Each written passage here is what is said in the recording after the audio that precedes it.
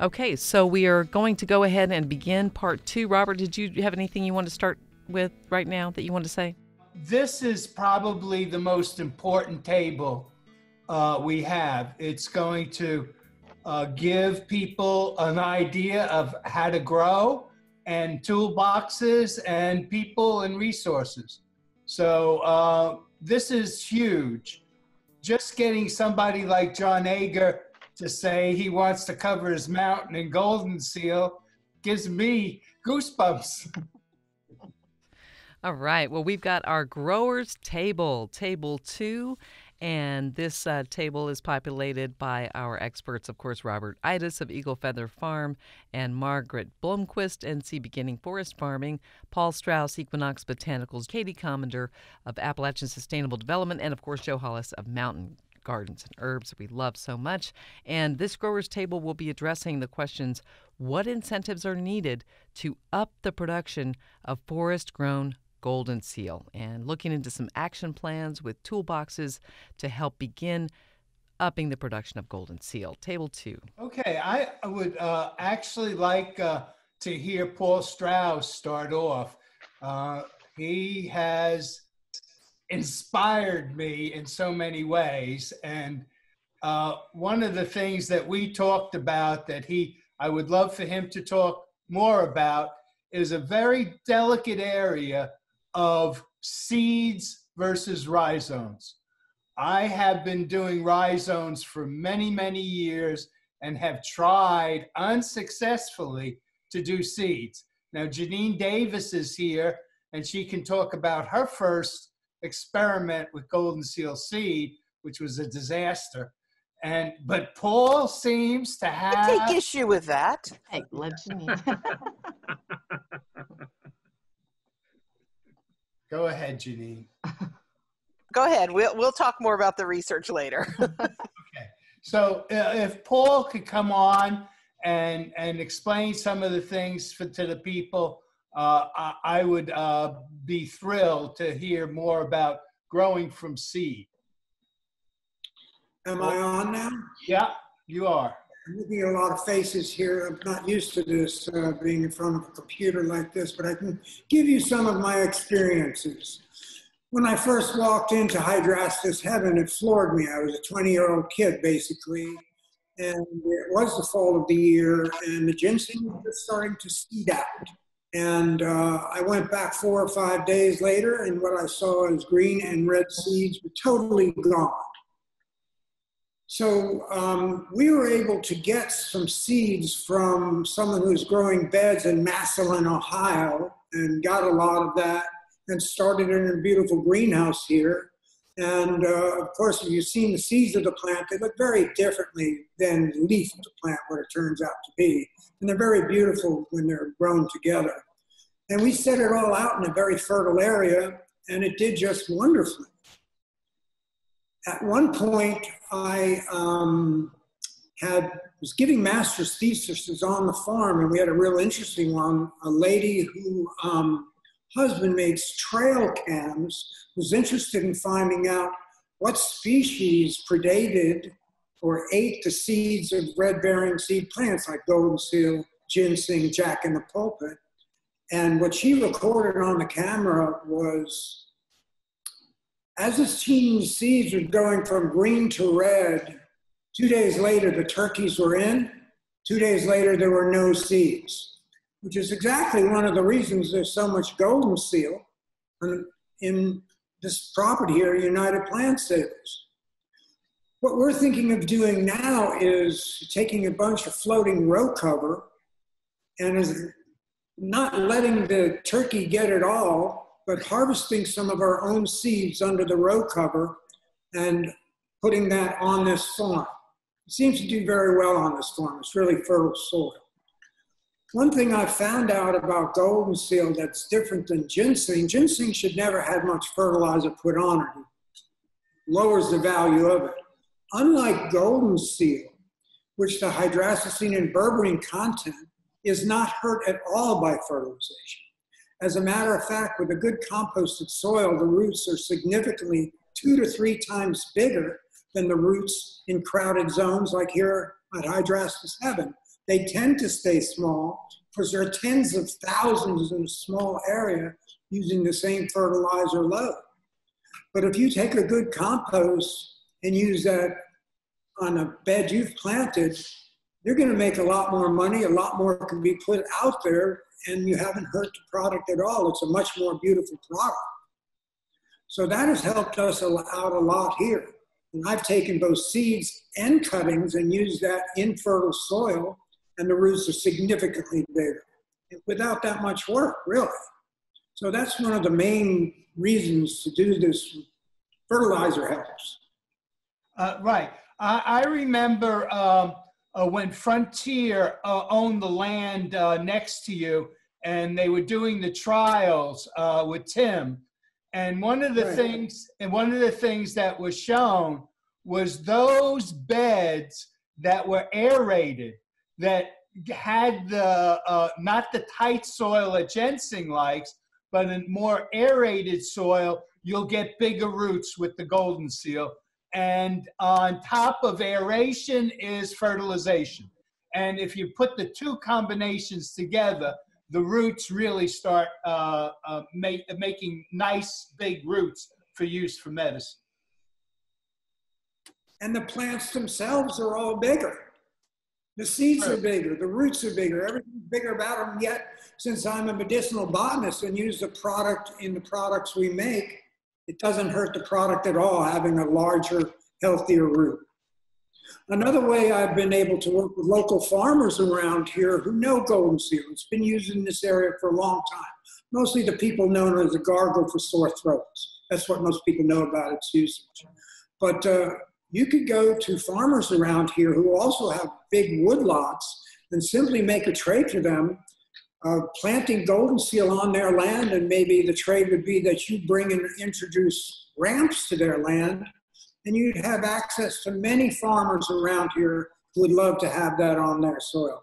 We personally don't need that because we live in a community of probably about 3,000 acres now of like-minded people. We're all planting golden seal right now. Okay, thank you so much. Uh, it's really huge. The other thing that I'd like to talk about is Dr. Davis and uh, her documents uh, for the beginning of a toolbox for our growers. Uh, I've, I've held on to that uh, document from 1996 or 7 uh, that Jeanine has put together, and it is excellent on Golden Seal. Uh, actually, I think it it predated some of the stuff in her book, and uh, so I'd like uh, I'd like her to to mention that and see if some of that information can be gotten together uh, for the universities uh, to put a toolbox together, or or the herb uh, schools to, to to work on something like that for us. Uh, Robert, that'd be really easy to do, and that's something that we could, a group of us that are on this uh, call right now, could do as part of the Appalachian Beginning Forest Farmer Coalition to just put together a whole package on Golden Seal. And if you would share with me that particular document that you're talking about, um, I just recently updated our little horticulture information leaflet on Golden Seal but it sounds like you're talking about something else. So I'd like to see which one you're referring to. But we'd be happy to do that. Great, great, because that's part of the action plan that we're mm-hmm. we're trying to get to. And I'd love to add some videos to that too. Yes, once we uh, get the websites going uh, and the links going, we will have that ability. Yes, absolutely. Katie, how are you? Uh, uh, responding to this? I think from the Appalachian Harvest Herb Hub perspective, one of the things that we're trying to do is work with as many forest farmers as possible to get them growing golden seal. Um, but there's a lot of challenges with that. I think the the biggest issue that people are facing right now is that there's just not enough planting stock available. Um, a lot of the planting stock from nurseries that we know of locally here are selling um, golden seal in little three, four inch pots. But if you're trying to establish a farm and you're buying in little pots, it, it's way, way too expensive to do it that way. Um, and so we're trying, we have a, a, grant right now through the Virginia Department of Ag and Consumer Services, their specialty crop block grant, um, to basically give mini grants to nurseries in the state of Virginia. And this could potentially be a model for other states to look at, where we're trying to encourage nurseries in Virginia to um, start to grow larger quantities of golden seal planting stock uh, in bulk wholesale quantities to help forest farmers with establishment. Um, I see Sean smiling too. I think they're working on some planting stock stuff, and I'm sure other people are too. But I, I think that's a big uh, bur- burden and hurdle that forest farmers really need to overcome, and something that collaboratively I'd like to for us to identify some solutions on. Great. I was laughing at something else entirely, but um, what what I wanted to chime in there is specifically what there's a shortage of is, is golden seal seed because if if you're going to plant it on large volume, um, not only can you not afford to be buying potted plants, you really can't afford to be buying rhizomes either if we're going to talk about acreage basis of golden seal. And it's just not out there uh, in, in any quantity, you know. Well, I think that, yeah, I think I have the, the reason for that, Sean. Most of the uh, golden seal uh, growers that I know uh, plant the day they harvest keeping the seed active and alive is very tricky. Little black seeds like to dry out real easy. And so most of the people I know take their seeds and immediately start another place where they start their bed. And that's one of the reasons I've sold seed once um, to a university for, for work. And the believe it or not, the price that I was selling that seed for was ridiculous. It, it, it uh, they could only do their project with seed and not with rhizomes. But in some reality, uh, because there's no commercial seed market at all, uh, getting it is going to cost you not a few bucks. It's it, was probably my most expensive seed deal I ever did all of it has to be overnight shipped. It all has to be refrigerated, otherwise they dry out real easy. And it's just a, a, a tough one. And I would love for your uh, college to figure out a way to uh, get it from seed to, uh, uh, uh to, to other people uh, without it drying out and being useless. Well, that's what we're working on. At this point, we're just building up uh, a large enough population that we are generating enough seed we can sell at that volume. But we're close. With we're within um, a couple of years of being able to do that. And seed is really where we're looking at going, simply because we can't get it. It's not available. Yeah, so we can figure out the logistics of how to get it shipped. It's um, we've been able to, to propagate it fine um, from seed. Well, what are your uh, what are your techniques? Can you put that into a toolbox? Sure. Yeah. I mean, and and Dave, as as as Dave Elam, as some of y'all know, are, is really the one who handles all that propagation. And so I, I can't go into the specifics other than I I know and can see, you know, in the shade house that he's he's doing very well with it. And then we're transplanting it to the forest from potted plants that have been grown in the shade house from seed and it's transplanting fine too. So we're getting it out into the forest um, from seed. We just haven't built up the populations large enough that we can start selling seed on volume. But that's where we're going with it. That way, more people can get it out into the forest. Absolutely. And if that could go into the toolbox, that would be a real big one. Even if the people just take their seed from what we're, their own plants to replant. And Robert, that's exactly what we find works just fine. If you collect your own berries and plant your own seeds and do that all in good in good time, it works just fine. The project that you were referring to before was we were trying to work for the seed companies to come up with a way for them to amass a bunch of seed and sell it to their customers. And that's where we found holding that seed in all those different methods really didn't work well. But for you yourself and growers, if they sow their own seed, they should get good germination. Good. Good. I, I, it's a learning curve for me. I'm still on rhizomes. Well, that's a good place to start, Robert. And what a lot of folks are doing is expanding vegetatively, and then from there, choosing the best seeds to expand out um, through all these efforts.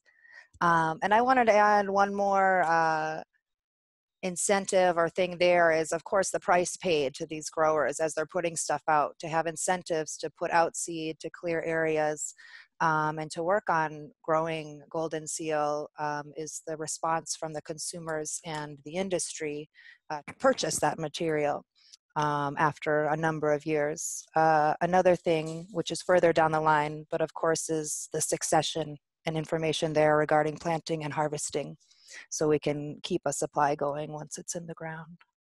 Great. Good. Okay. Um, We have not heard from Joe Hollis. Um, this is our forest farming table. I would like to ask Jeanine, when you are replanting the berries, you're not bothering to clean the seeds. You're just like crumbling up the berry into the ground. How are you actually doing? So you got a berry in your hand. What are you going to do? So we've done it both ways, and when we're doing research, we go through the normal method of extracting the seed and cleaning it up and putting it out. But it also works with the berry and just crushing the berry and scattering Okay. those seeds. Well, it certainly save a lot of time. Yeah, Yeah. but in in Yeah. order to sell it, for Mhm. you to be able to sell the seed, you know that's where we're running into the issue. hmm Yeah, but if you wanted to, I mean, maybe just- an approach to take would be for people to grow masses of little seedlings. Mhm. Just by crumbling up berries and not trying to sell seed. Right. just fork up these bare root seedlings if you had big dense beds of them and market that conceivably So, well, I spoke or emailed with Jean Harrison of Red Root Natives the other day because she put out her wholesale plant list and she Right. didn't have golden seal on there. So I emailed her and said, Aren't you doing golden seal? And she's like, Oh, yes. But those flats of seedlings sell out so fast, she never gets them on her availability list. So we need to talk to Jean because she seems to be a pro with raising flats of these plants from seeds that other people Yeah, have she's really difficulty good. with. hmm for sure yeah well my method is just as i harvest to make tincture i just break off the tip and plant it right back just out in the woods and take the rest of it home to tincture or sell make whatever product i'm making but you know i'm just super small scale i mean i just i don't know if you could scale that up or not okay. Thank you for your input. So, Lisa, it looks like we're close to it. Yes, we are doing great, and I really love the multidisciplinary approach as far as all of the different options and ways to plant and propagate golden seal because it sounds like we need to head at it from every direction. So I think that's part of the toolbox would be all of the different ways to propagate and look at farming it. So that that, that sounds so great. I love all these perspectives.